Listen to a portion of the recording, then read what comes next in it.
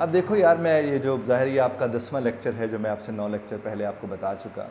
Spoken English के हवाले से आप एक चीज़ जहन में रखें कि आप जो रूटीन की बात करते हैं, जो रोज़ की आप बात करते हैं, उसमें तो आप सिंपल प्रेजेंट इस्तेमाल कर लेते हैं। यानी आपने आई लगाया और उसके साथ वर्ब की फ़र्स्ट फॉर्म जिसको बेस फॉर्म कहते हैं, वो मेरी बुक अगर आपके पास है verb is a soul of a sentence तो उसमें पाँच हज़ार से ज़्यादा वर्ब्स मौजूद हैं। उसको आप यूज़ कर सकते हैं अपने फ़िक्रे बनाने के लिए। अब देखिए, अगर आप कहते हैं I get up early in the morning I get up यानी मैं उठता हूँ, ये आपका रूटीन है। आप कहते आई टेक ब्रेकफास्ट तो आपने टेक यानी वर्ब की फ़र्स्ट फॉर्म लगाई ब्रेकफास्ट तो ये फिर आपका रूटीन है। इसी तरह से आप कहते आई रीच ऑफ़िस मैं ऑफ़िस पहुँचता हूँ reach first form of the verb base form of the verb ये फिर आपका रूटीन है। तो चूँकि मैं आपको सिंपल प्रेजेंट अपने पिछले लेक्चर में पढ़ा चुका हूँ तो सिंपल पास्ट पर मैं आपसे बात करूँगा कि आप सिर्फ़ एक काम कीजिए कि जो आपने रूटीन बनाया था आपने एक रूटीन बनाया था, मसलन आपने कहा कि I get up early in the morning आपने जब कहा I get up early in the morning आपने इसी गेट की सेकंड फॉर्म लगा देनी है और वो बन जाएगा I got up early in the morning अब एक जगह पर था I get up early in the morning और जो ही आपने उसको बदला, आपने जाकर कह दिया I got up early in the morning अगर आपने कहा कि I reach office I reach office around ten o'clock और अराउंड नाइन ओ क्लॉक आपने जब कह दिया, मैं अपने ऑफ़िस पहुँचता हूँ रीच पहुँचता हूँ कि नौ बजे के करीब करीब। तो आप अगर वहाँ पर जाकर कहते हैं फास्ट के हवाले से तो क्या होगा? आई रीच्ड ऑफ़िस यानी रीच का सेकंड फॉर्म लगा दिया। उधर गेट का सेकंड फॉर्म लगा के आपने बोला था आई गॉट्सअप और यहाँ पर क्या हो गया? आई रीच्ड और जो ही आपने आई रीच लगाया तो आप देखिए उस दिन में जितने भी आपने काम किए, यानी आपने पहले तो सिंपल प्रेजेंट लिख रखा था, जो सिंपल प्रेजेंट में अपने फॉर्म फ़र्स्ट फॉर्म यानी बेस फॉर्म लगाई हुई थी, उन्हीं को बदल दें आप किसमें second form of the verb में। और जब आप फॉर्म ऑफ़ वर्ब में बदलने जाते हैं तो उसके दो तरीके हैं। एक तरीका तो यह है कि वो आपको आती हो। दूसरा तरीका ये है कि अगर आपको वो नहीं आती तो परेशान होने की ज़रूरत नहीं है। ना ही किसी के साथ जाके बात करने की ज़रूरत है, ना किससे पूछने की ज़रूरत है। सीधा सीधा आप गूगल करें। मिसाल के तौर पर रीच है और आपको रीच की सेकंड फॉर्म नहीं मिल रही थी तो आप क्या लिखेंगे गूगल में जाकर कि what's is the second form of reach वो जो रीच वर्ब है, उसकी सेकंड फॉर्म क्या है? वो आपको पकड़ा देगा साहब, ये है रीच की सेकंड फॉर्म और कभी भी लफ्ज़ों के लिए आपने अगर मेरे बाकी लेक्चर सुने हैं जो लैंग्वेज से मुतक हैं या आइल्स या पी से मुतक हैं वो आपने सुने होंगे तो उसमें मैंने ये बात बारहा समझाई हुई है।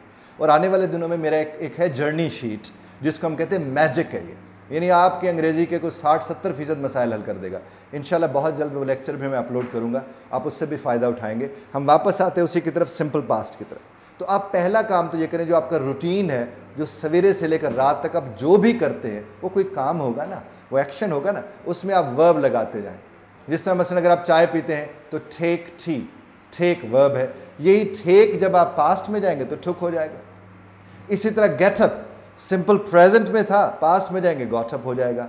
इसी तरह आपने कहा आई ड्रिंक वाटर ड्रिंक जो ही आप ड्रिंक इस्तेमाल किया, अब जब पास्ट में जाएँगे तो वो क्या हो जाएगा? वो ड्रैंक हो जाएगा।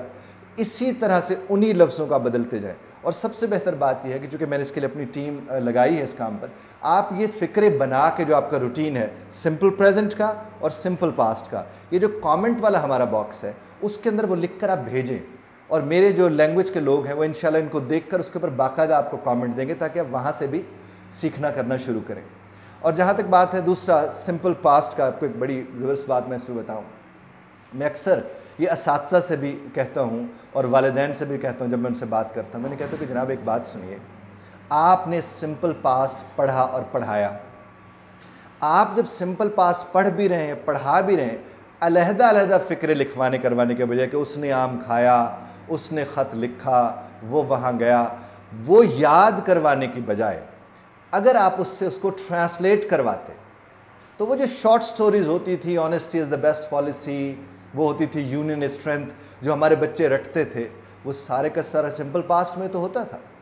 तो आप अगर उस वक्त वो सिंपल पास्ट में उर्दू में लिखकर अपने बच्चे को कहते इसे ट्रांसलेट करो तो आज वो ये ना कहता कि मैं इतने बरस से टेंस पढ़ रहा हूँ और मुझे टेंस आज तक नहीं आते। अरे, उसको अपने आइसोलेशन में अलहदा अलहदा चीज़ें पढ़ाई हैं। आप जब वो याद करने जाते, कुछ भी ना करें सिंपल पास्ट आपने मसलन पढ़ा दिया। बच्चे ने पढ़ लिया। आप लोग भी जो स्टूडेंट्स इस वक्त मुझे सुन रहे हैं, आपने पढ़ भी लिया, सुन भी लिया। अब आप क्या करें? आपके पास आठ, दस, पंद्रह, बीस, जो आठवीं में, दसवीं में, बारहवीं में, वो छोटी छोटी कहानियाँ, ये जो मॉरल स्टोरीज होती हैं, ये पढ़ी होंगी ना, आप इनको सामने रखें, इसी वक्त उठाएँ सामने रखें। आप उन्हें सामने रखकर जहाँ जहाँ आपको वर्ब मिल रहा है, उसे आप अंडरलाइन करते जाएँ और गूगल पर जाके चेक करें, वो सिंपल पास्ट ही होगा। आपको ज़्यादातर सिंपल पास या सिंपल या पास कंटिन्यूस मिलेगा। यहाँ तक कि पास परफेक्ट भी बहुत कम उनमें इस्तेमाल होता है और ज़्यादातर जो इस्तेमाल होता है, वो यही इस्तेमाल हो रहा होता है। आपसे मैं ये गुजारिश करूँगा कि आप इसको इसी एतबार से लेने की कोशिश कीजिएगा और जो नेक्स्ट हमारा सेशन होगा इन उसमें मैं आपको सिंपल फ्यूचर के ऊपर बात करना सिखाऊँगा, ताकि आपको अंदाज़ा हो सके कि रूटीन क्या होता है रूटीन के बाद कहानी क्या होती है और कहानी के बाद प्लानिंग यानी मनसूबा क्या होता है। Thank you very much for listening